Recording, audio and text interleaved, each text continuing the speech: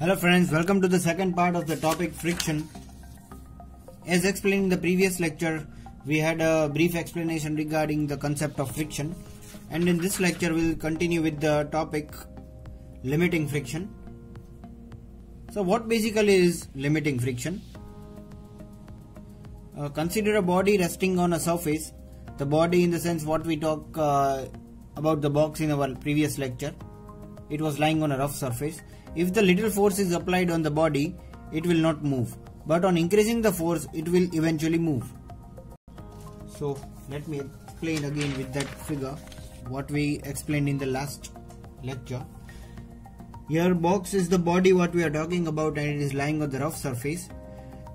By applying force, initially the body will not move but with increasing this force, the box will eventually move. That is because of friction.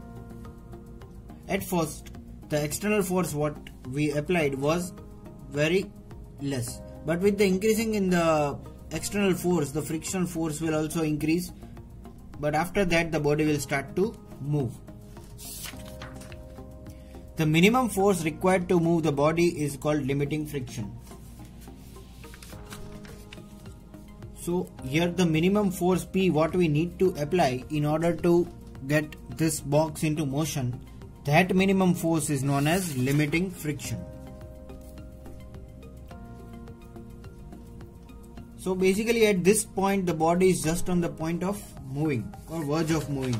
Still it hasn't moved.